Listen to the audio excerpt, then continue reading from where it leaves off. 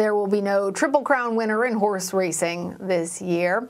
Rombauer pulled off a surprise upset at the 146th running of the Preakness Stakes. The pandemic limited attendance at Baltimore's Pimlico racetrack. It was just at 10% capacity. This is jockey Flavien Prat's first Preakness win. One of the horses Rombauer beat was Kentucky Derby champion Medina Spirit, who came in third. It was unclear if the horse would even be eligible after testing positive for traces of a steroid last week. Racing officials are still trying to determine if Medina Spirit's Derby win will be invalidated.